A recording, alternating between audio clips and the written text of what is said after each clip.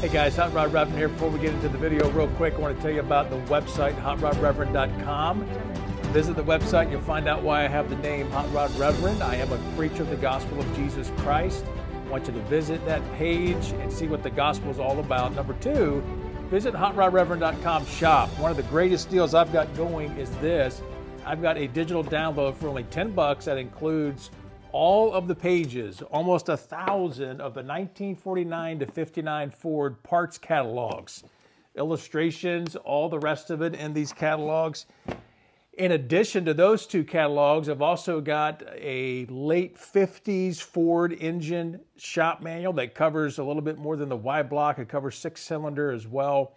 And then I've got owner's manuals. There's a lot in that download. Visit that today. Thank you for supporting the channel. Back at it again today with a great upgrade for your Holley 94. These are very common to the 1954, 55, and 56 Fords.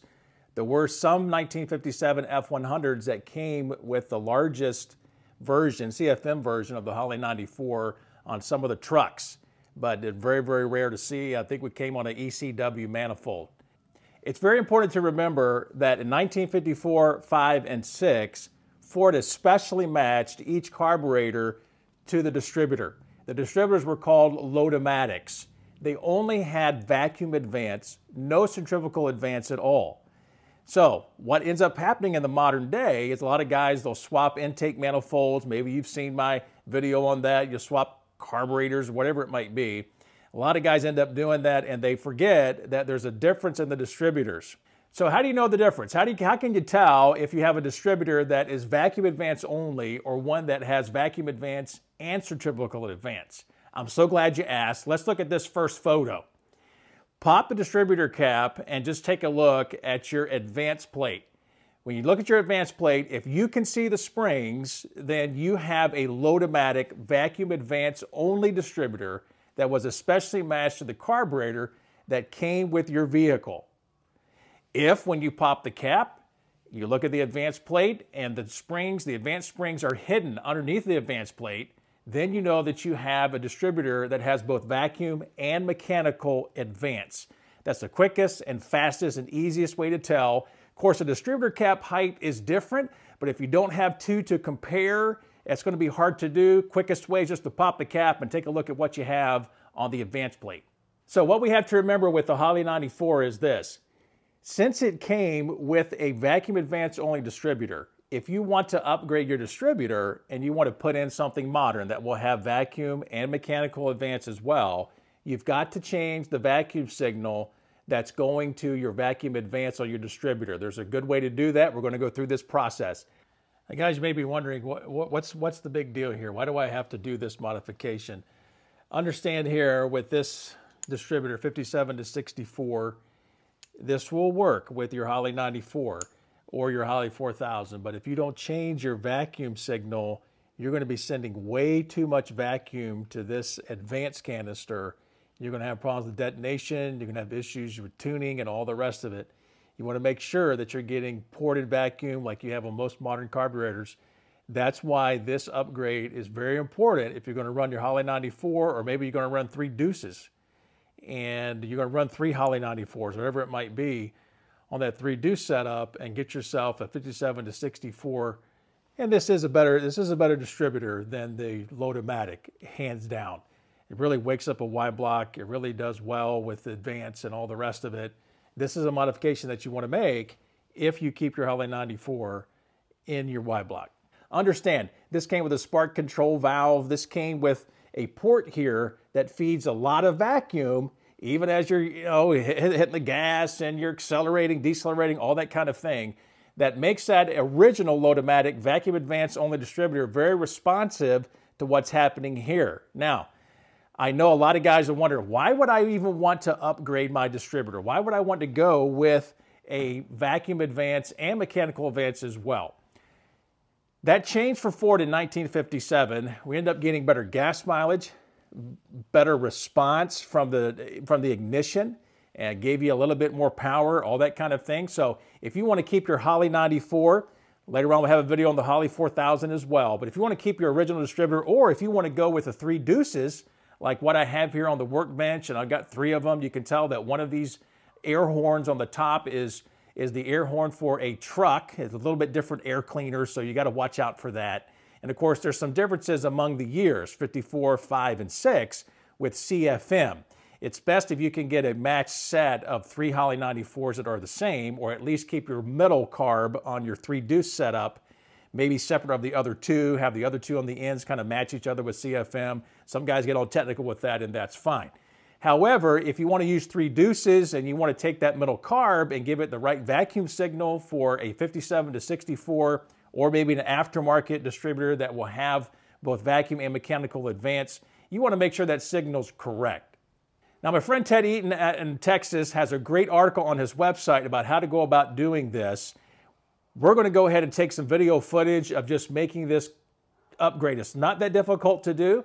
Let's take a look at the tools and the equipment that we're going to need to get it done. What you're going to need, you're going to need a 632 tap, quarter inch NPT tap. That's very important because you're going to put your adapter there to give you a, this is a 3 16ths. That way we can go back to a 57 to 64 distributor a plug. This is where the port is located or to block off the port. There where your original vacuum advance, the hard line is located on that Holley 94.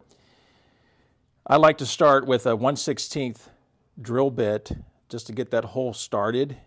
It is kind of difficult because it's angled right there. We'll look at that in a minute. And then also one eighth of an inch drill bit. That, that makes your passageway there for the vacuum to go through back to this port there. Some JB weld. You can also use some soft lead. Obviously a 632 set screw. This is just a pile of them I have. And of course I ordered some extras and different things because I do this on occasion. A drill or a drill press. I have quite a stash of Holley 94s in inventory and in storage. So I've got parts and pieces. I've got a base right here I'm going to be working on. You are going to need to disassemble your base from your uh, fuel bowl portion, this middle portion of the Holley 94. I would suggest to you that you do this when you're going to rebuild your carburetor, that way you can blow out all the passages, make sure everything's super clean before you put it back on your car. But for the sake of what we're doing, I'll just disassemble one of these. I will go ahead and use this base since it's already cleaned up and ready to go. Just a quick word of explanation. We've removed the spark control valve. You can see that there's a port uh, that comes through the rear of your carburetor base, and then it goes right here to the inside. Of course, that's reading the vacuum uh, that's, that's coming down through uh, the bores of the carburetor here. What we need to do is we need to go ahead and tap in here for our port for vacuum advance to our modern distributor. We need to seal this port off. And then what we're going to do is we're going to drill a hole straight down and make a passage right to that port right there that's inside of our cylinder bore. Let's go ahead and tap this first. The quarter inch NPT tap is so close in size to your original spark control valve port, you don't need to drill anything out. You're basically just rethreading this port right here.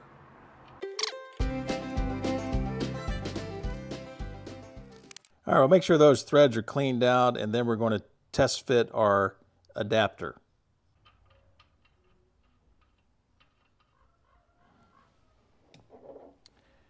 This looks like it's just fine here. All right, so we're, we're good to go.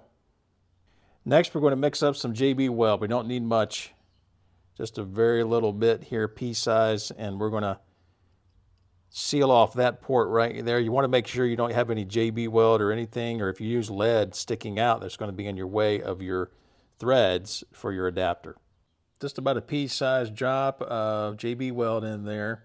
Just make sure it's all smoothed out so it won't get in the way of our adapter going into the bore.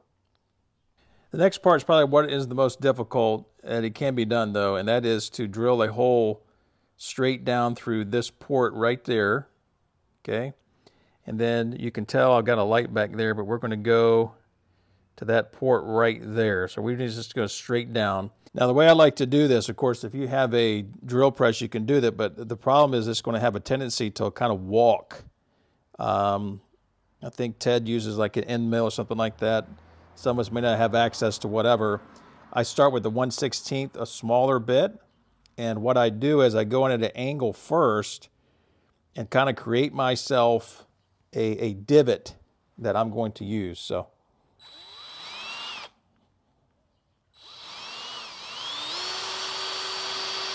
Basically what I've done, I've started the hole. You can see it there uh, in the middle. Sorry, I'm holding a light and holding my camera too. So you look right in the middle of the screen, you can see where I've added that hole right there. Then we're just going to go straight down and make sure that we connect with that port. All right, kind of flip this around so you can see, you, you can tell when uh, you've, you've made a connection here. You can see that, you can see it coming out, obviously, okay? So you just want to make sure that we're that we're right there through that passage. We're going to blow it out with air here off camera. Now that we've blown it out, essentially what we have done is, you can, if you look way down in there, you can see there's a port. Put, try to put it right in the middle of the screen on the, at the back there, okay? What's happened is we've sealed off this port that kind of would come past the spark control valve a little bit or past part of the diaphragm. And then up here, what we've done after we sealed that off is we've made sure that this port, just to give us what we say ported vacuum, right? Um, from that hole there, all the, obviously all the way back through our brass adapter. So we're going to get a great reading for our 57 to 64 distributor now. Tap a 632 right here in this port. Now don't don't tap into your idle mixture screw passages. These are those are these two right here. Okay, but basically, when you take your base and uh, what you just did here, all right, what you just did right there, uh, you basically want to go ahead and match that up and go ahead and tap that to block off that port. You can tell this carburetor needs to be rebuilt and that's that's the best time to do this kind of work because you're going to have shavings, you'll have everything everywhere. So, all right, just a little 632 set screw we're going to put in here. Just want to make sure that when we're done tightening this down that it is flush and that um, you have no problem getting your gasket to seal. Put your carburetor back together and make sure it's tight. I suggest you use some Teflon on the adapter here and then also your plug. So now that we got our base back on here, we'll go ahead and put these things in. Putting the plug in here, of course, to keep you from having any small vacuum leaks.